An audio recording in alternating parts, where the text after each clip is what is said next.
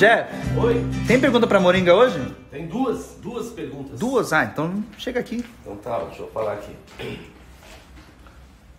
Olá, amigos, amigas, amigos, moringueiros de plantão, pessoas que ficam aqui aguardando as nossas respostas do Pergunta para Moringa ou que querem ouvir as nossas dicas.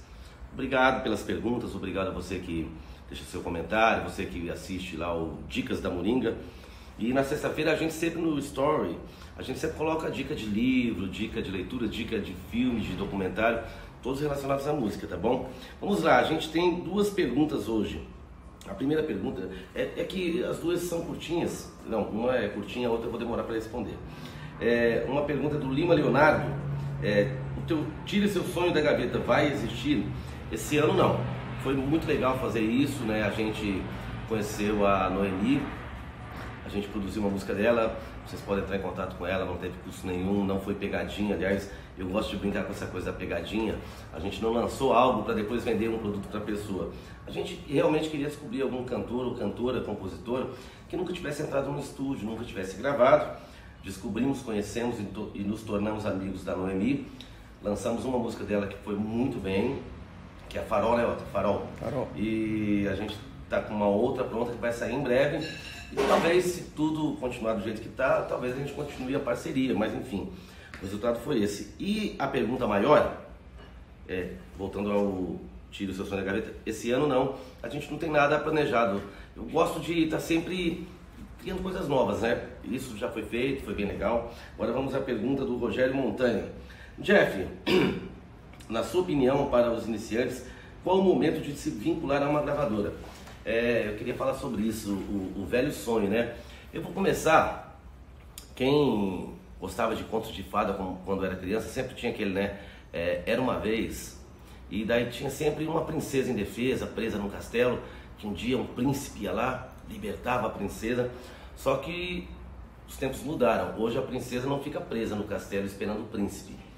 A princesa se emancipou, ela sai, vai, enfrenta suas dificuldades, ela abre a porta do castelo e sai pela porta da frente empoderada. E essa analogia eu quero dizer o seguinte: existiu sim um período, eh, eu vou tentar tomar muito cuidado porque eu tenho muitos amigos em gravadora, né, eu tenho muito contato com gravadora, às vezes presto trabalho para algumas gravadoras, mas existiu sim um período onde a gravadora era o único caminho de abertura para o artista, mas hoje em dia isso não, não procede mais. As gravadoras existem, é claro, né, elas estão aí.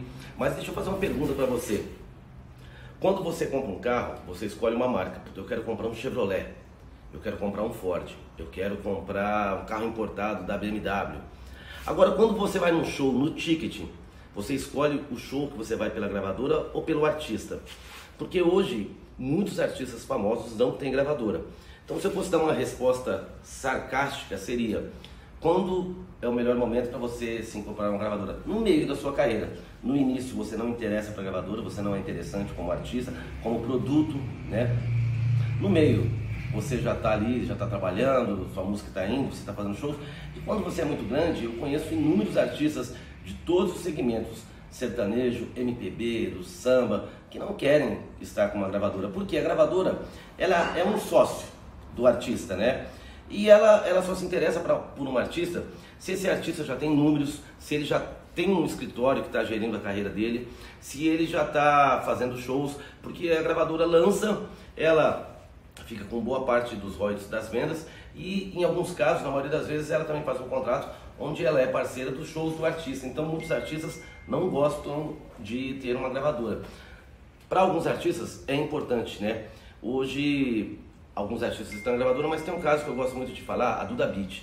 Ela é um grande fenômeno, estourou aí de 2017 para cá, 2018, 2019, foram os anos da Duda Beat. Todos os discos são independentes. Então, esse sonho, essa coisa de achar que se eu entrar numa gravadora, aliás, tem vários sonhos de, de, de novos artistas ou de pais de artistas que às vezes também mandam as coisas perguntando para mim como eu chego a um empresário. Ninguém vai te descobrir.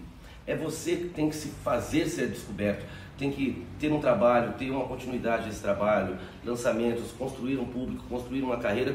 E digo mais, é muito mais importante às vezes você já ter um empresário, já estar tocando, já estar fazendo shows, do que você chegar necessariamente a uma gravadora. Então é isso, né? A gravadora existe, ainda está aí, ainda dominam o mercado da música, mas grandes artistas não gostam de gravadora, outros artistas não querem gravadora e alguns artistas estão na gravadora, mas também não está acontecendo muita coisa com a carreira deles. A gravadora é um sócio, né? E você pode ser o dono do seu fonograma, você pode ser a sua gravadora, você pode ser o seu investidor. É isso, eu não, não sei porque essa, esse grande é, interesse que as pessoas têm. Se uma gravadora me descobrir, não, ela não vai descobrir ninguém. Isso não existe mais. Um empresário não vai bater na sua porta.